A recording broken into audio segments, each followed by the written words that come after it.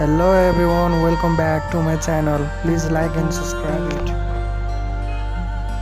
अहिले चाहिँ हामी त्रिभुवन इन्टरनेसनल एयरपोर्टतिर जाँदैछौँ। काठमाडौँको बाटो फेरि कस्तो छ? त्यो त सबैलाई थाहा छ नि। भन्नुपर्ने कुरा नै होइन। धुवा धुलो र जाम त्यस्तै त हो नि।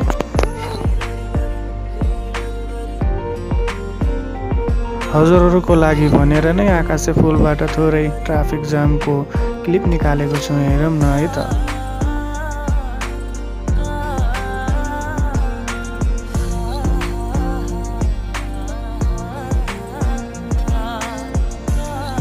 काठमाडौँ जस्तो ठुलो सहरमा होइन बसभन्दा ट्याक्सी चढ्नु नै राम्रो रहेछ के? अब फरक यति मात्रै हो भाडा अलिकति महँगो हुन्छ होइन। ड्राइभरले सोधेको होइन एयरपोर्ट कहिले पुगिन्छ भनेर। चाँडै नै पुग्छ भन्छ क्या रे आफूलाई फर्स्ट टाइम भएरै होला कहिले पुगौँ जस्तो भइरहेछ क्या फेरि? नयाँ ठाउँ हेर्नलाई त सबैको मनमा कुलदुली मचेकै हुन्छ नि होइन र? त्यो ठाउँ कस्तो छ के छ यसो हेर्नलाई हुन्छ नि रहर भन्ने कुरा कि? खै कुन कुन बाटो लग्यो त्यो त थाहा भएन तर काठमाडौँको भ्यू चाहिँ हेर्न अलि राम्रै लाग्ने रहेछ क्या यहाँबाट एयरपोर्ट खासै टाढा छैन भन्छ क्या अरे। त्यही भएर यसो भिडियोहरू हान्दैछु नि। यहाँभन्दा थोरै अगाडि रहेछ त्रिभुवन इन्टरनेसनल एयरपोर्टको गेट।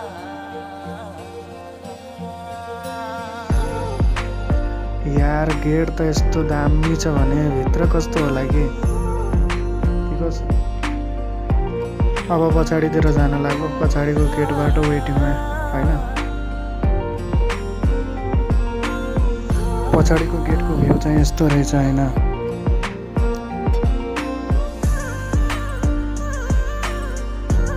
एयरपोर्ट साइडतिर केही कुरा खाम भनेको त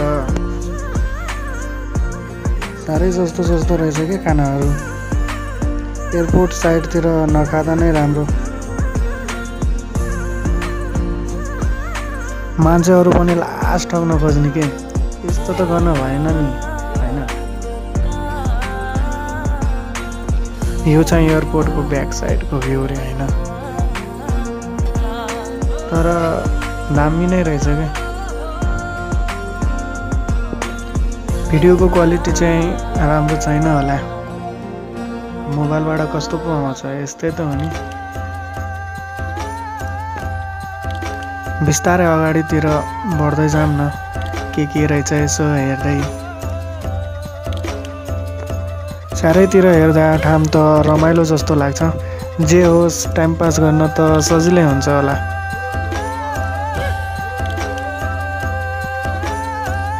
फ्लाइट ल्यान्डिङ टाइम चाहिँ अलि ढिलो नै रहेछ यार। अब टाइम पास त गर्नु पऱ्यो चारैतिर घुमेरै गर्नु पर्ला। जान पो कहाँसम्म दिने हो होइन? सबै ठाउँमा त घुम्न पाइँदैन होला पक्कै। त्यो त अब सोधेरै गर्नु पऱ्यो माथितिर जाम सायद कस्तो रहेछ हेरौँ न उतापट्टि पनि होइन।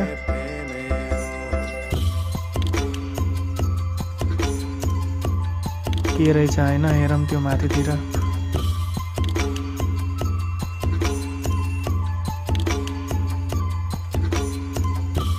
माथि के छ भनेको त यस्तो पो रहेछ। यो हो नि इन्टरनेसनल एयरपोर्ट भनेको होइन? बब्बाल छ नि यार।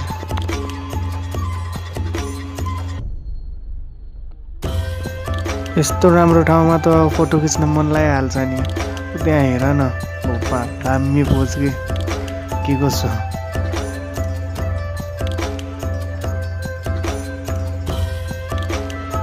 यताबाट तलतिर पनि हेर्न मिल्ने रहेछ।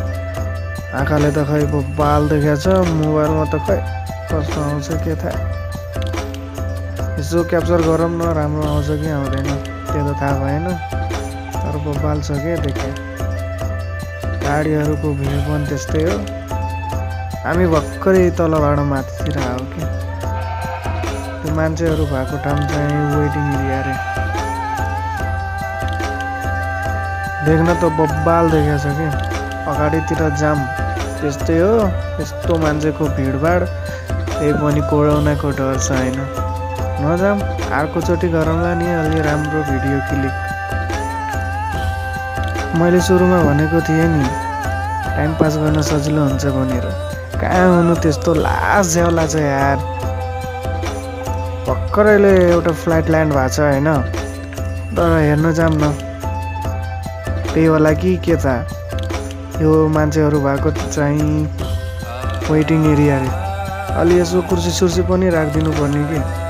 राम्रो हुन्थ्यो हामीलाई नि यसो बसेर वेट गर्नलाई होइन?